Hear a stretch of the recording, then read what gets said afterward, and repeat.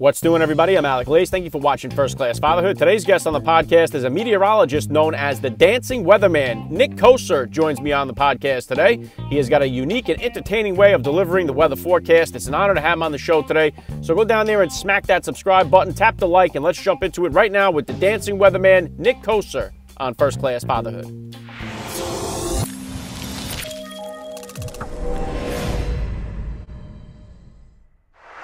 Joining me now, first class father, Nick Kosir. Welcome to First Class Fatherhood. Dude, such an honor to be here, man. I'm seeing your background and I'm looking at all the cool, amazing fathers you've interviewed before, and I'm like, why did you choose me to be on this thing? but well, I'm happy and excited, man. Let's do this. Yeah, it's a pleasure to have you here. Let's start it like this. How many kids do you have? How old? I got one little dude. He is uh, 11. He actually just turned 11, and his first day of sixth grade was Monday. So he started junior high virtually, which is uh, definitely a new experience for all of us. Yeah, wild experience for all the parents out there. Uh, is he involved in any uh, sports or activities?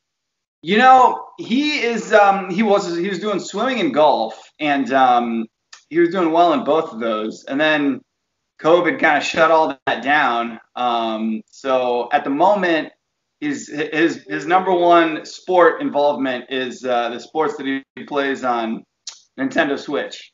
Uh, so that's it. He's a he's a he's a thumb warrior right now. Yeah, he's not he's not he, he's not alone in that department for sure. that's for dang sure, especially not in the junior high school age group. Yeah, Nick, if you could please just take a minute here to hit my listeners with a little bit about your background and what you do. Yeah. Okay. So I am a um, I'm a morning meteorologist, and I've been doing this for gosh 15 years now, which kind of makes me seem old. That's why I'm wearing the hat, so I'm covering up my gray hair. Uh, I graduated with um, a, communi- a communications degree in 2005 from Akron University in Ohio, which is the city LeBron James is from. That's like our claim to fame. And uh, got into the news business um, at first as a news reporter didn't exactly know what I wanted to do in the business. Um, and then a, about a year into it, my boss was like, dude, you suck. I was like, yeah, I've noticed. And he goes, why don't we try you at weather and, and see if you're, uh, you know, and see if that's more your speed. And I swear to you, after two minutes of doing the weather, I go, why haven't I, why hasn't it dawned on me that I could make money doing this? I just never thought that you could make money predicting the weather. It it it woke this passion up in me that I had for weather that I never kind of it was just kind of lying dormant. You know, I've always liked science. Anyways, long story short, after that that day of filling in, um, I decided to go get my meteorology degree online from Mississippi State. I got it, and since then I've been all around the country, uh, you know, moving up in my career. So I moved from Mansfield, Ohio, to Beaumont, Texas, to San Francisco, and then in the ultimate swerve of of of my life, I went from San Francisco, California, to Boise, Idaho, um, to to kind of find a little more of a peaceful life. That was a little too peaceful. And then six years ago, we came here to Charlotte, and this is it, man. We we love it here. I work on Good Day Charlotte, which is a morning show that runs from 4:30 a.m. to 9 a.m and that's almost become my secondary job because now it seems like my first job is a professional dancer. yeah, I'm going to get to your dancing in just a second here. But so a lot, I mean, there's a lot of climates you went through here, a lot of different type of weather patterns in these different states and stuff like that. But so along this journey, then Nick, how old were you then when you first became a dad, and how did becoming a father kind of change your perspective on life? Oh man, I was I was 25. Um, so not too young, but still not too old. You know, I was still kind of kind of immature, and um, at the time that I was becoming a father, so I told you about all those moves, right?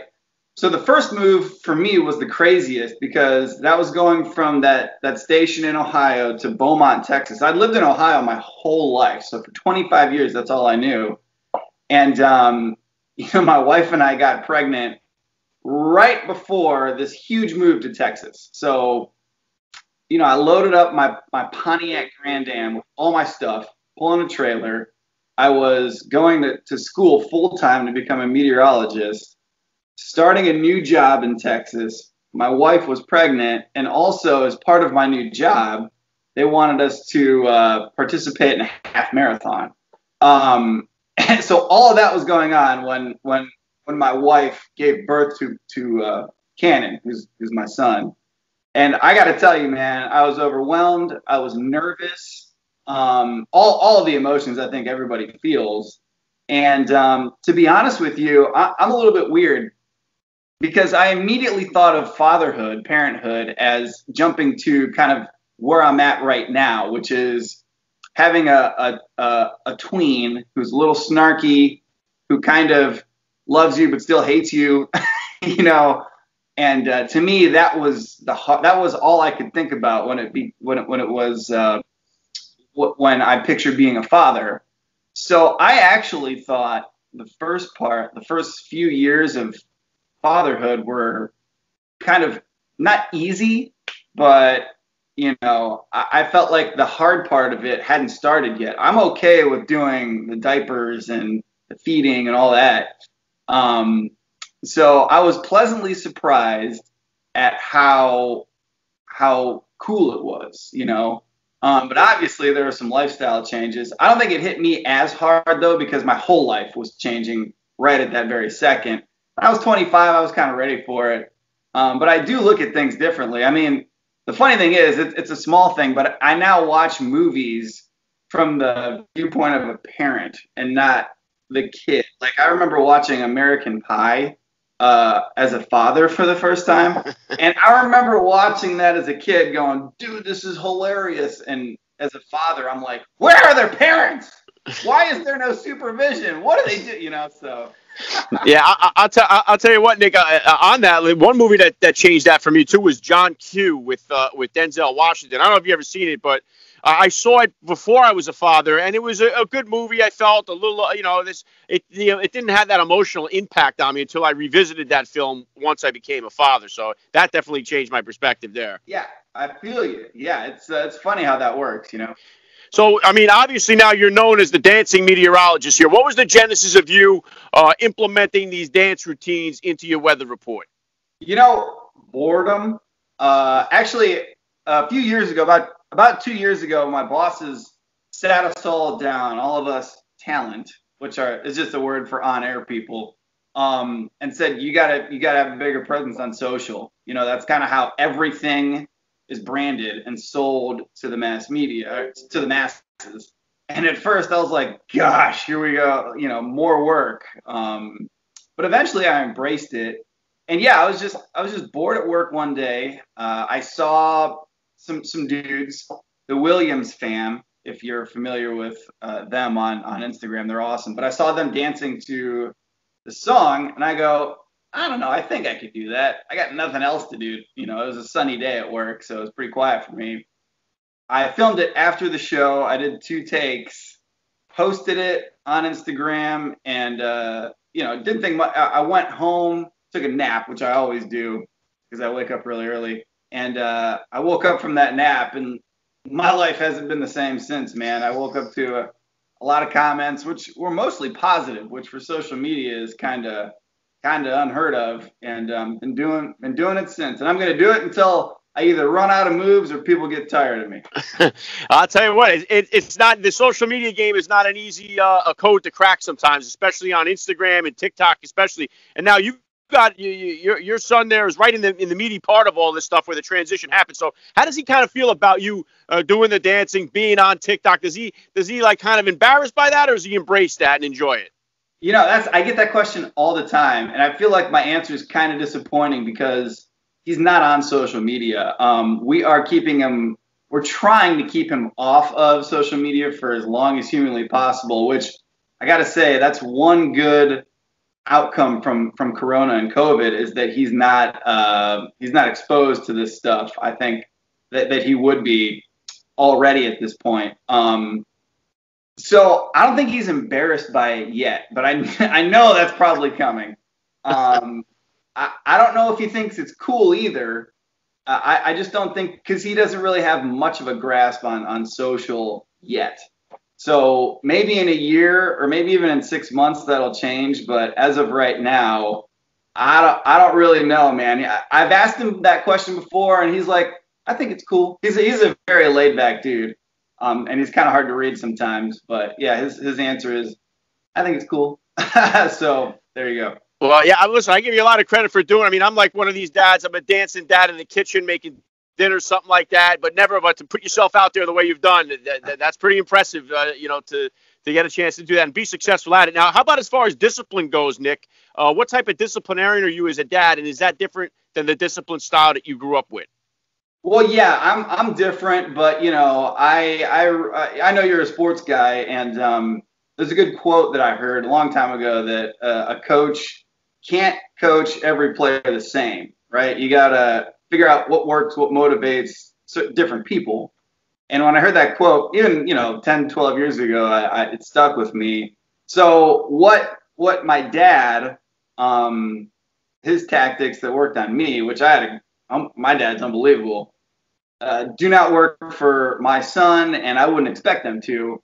Um, and it's also a different time period, you know, so things have changed.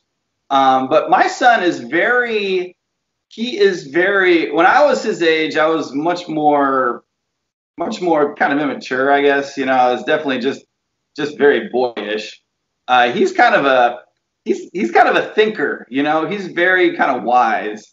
So my attack or my approach with him is I don't necessarily um, I don't necessarily finger point. I try to guide. You know, I just I just kind of say, hey, what do you think your your best option here would be? You know, do you think you'd rather take do these chores now and get your your your video games in later or vice versa.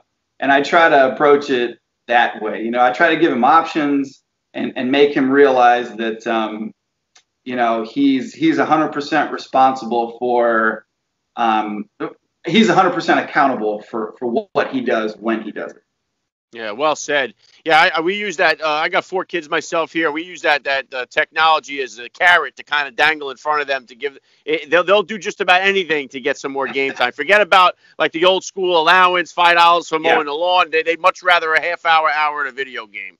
I mean, it's. I'm so glad you said that because we've tried to motivate them with money, and again, I don't think, you know, because they don't see the money these days. They're like, right, yeah unless unless the money comes in the form of like a, uh, a GameStop gift card or something like that, so they can buy more games. You know. That's that's hundred percent right. What what would you say? What would you say, Nick, are the top values that you're hoping to instill in your son growing up?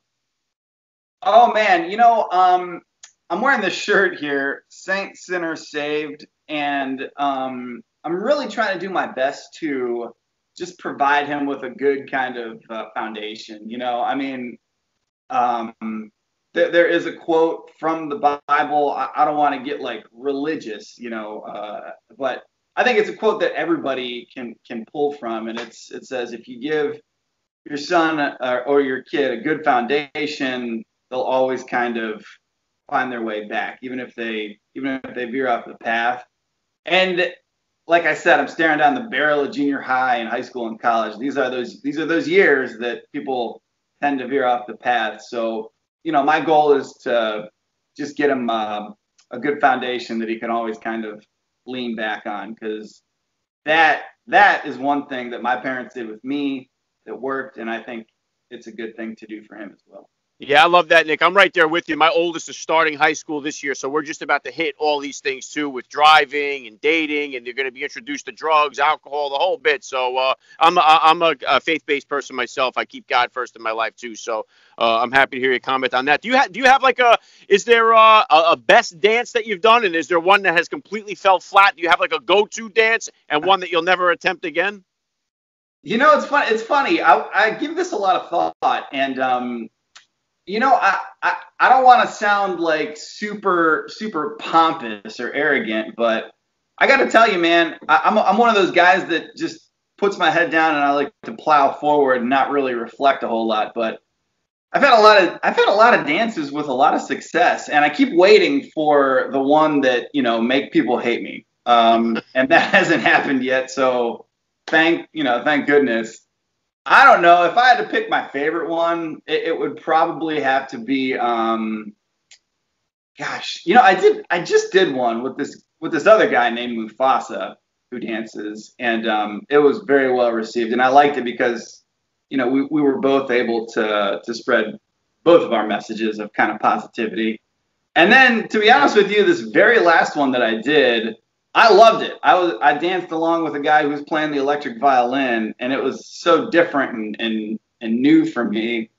I loved it. Not a huge maybe like success on views, um, but that one so so far has had the lowest view count. But you know we just we just posted yesterday, so uh, those are my thoughts on that. My go-to move I think is probably, I mean these days it's got to be the whoa. All the all the kids hit the whoa. So when, when you do that, they lose their minds, especially as a 36 year old person with gray hair.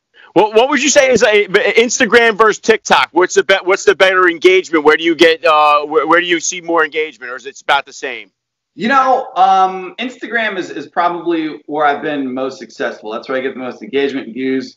TikTok is a is a whole different beast. That thing just came. It's like a phoenix out of nowhere. kind of last year. I, at first I like scoffed at it, like, what is this? And then, gosh, in January I go, all right, this is a thing, you know, and it's got its own little community there.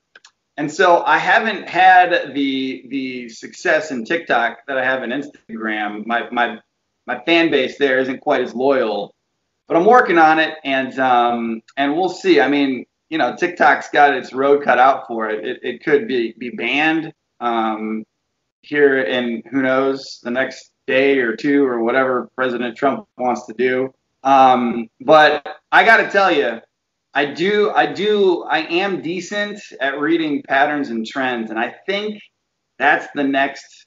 I mean, it already kind of is the next big thing, but I think it only gets bigger from here. So I think if if anyone watching wants to capitalize uh, on a new social media platform, I think adopting TikTok now rather than waiting would be advantageous because it's easier to gain followers when a social media platform is new rather than waiting till it's already been established. Like TikTok is kind of like Instagram was back in 2012. You know, I mean, at present day. So that's my take on it. Yeah, good stuff. Yeah, I'm going to put the links to all your um, all, all your accounts uh, in the description of this podcast episode, so my listeners can check it out, see all the dance moves, see what you're hitting it over there. What's next for you, Nick? What kind of goals or plans do you have here for the future? Where you plan on uh, scaling this up or building it, or what do you got coming up?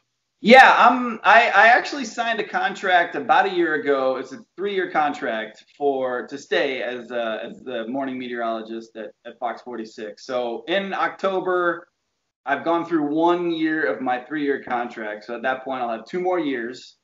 And and my goal is to just keep doing what I'm doing, you know, keep um keep trying to gain followers and and see what happens from there. I mean, I absolutely love my job as, as a as a meteorologist, um, but you never know. The internet's the great equalizer. There could be an opportunity uh, in the future that makes my life go in a different direction. And um, we'll see, man. I'm one of those guys that I very much like to flow with the current. I don't try to swim upstream. So um, I, I, just kind of let things happen and, and, and try to go with whatever whatever seems to be the right move. So we'll yep. see. I'm not going to try to force anything because I know when when you get into that mindset, everything goes haywire. Yeah, very cool. All right, last thing I'm going to hit you with here, Nick. I love to ask all the dads that I get on the podcast, what type of advice do you have for the new dad or for that about to be father who's out there listening? I think I think it's important for a new dad to um, not look at parenthood as a whole. You know, when you first get in there, it can be overwhelming. And like I was saying, I was I was already jumping to like tween years and oh my gosh, how am I going to handle buying a car? It's going to be so, you know, take parenthood is is just a series of stages, you know. So if you're overwhelmed in one stage, you know, that's just a tiny snapshot of your life. So ride it out, you know, just do what you can to, to do your best and make it to the to the next stage. You know, you've got newborn, infant, toddler, and they're all they're all different, they're all challenging, but they're all awesome. And so just kind of just kind of take it in steps. And I think um, that will definitely be that will definitely help. It definitely helped me, so I hope that helps you. Hey, last yeah. thing I want to say is to you, you're awesome. When I saw your email come through, uh, I was like, I have to do this podcast. Congrats on all your success, man. I see you're just you're number one all the time, and uh, I can see why uh, you get the big names that you do because you are good at doing this, man. So thank you. Well, Nick, I appreciate that. I love the message. I think you're a first class father all the way, and I got to say thank you so much for giving me a few minutes of your time here on First Class Fatherhood. Anytime, man. Anytime. Have a good one.